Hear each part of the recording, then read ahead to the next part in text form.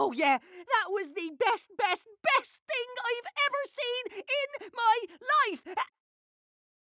Uh, I mean, uh, yeah, it was okay. You know, didn't miss much.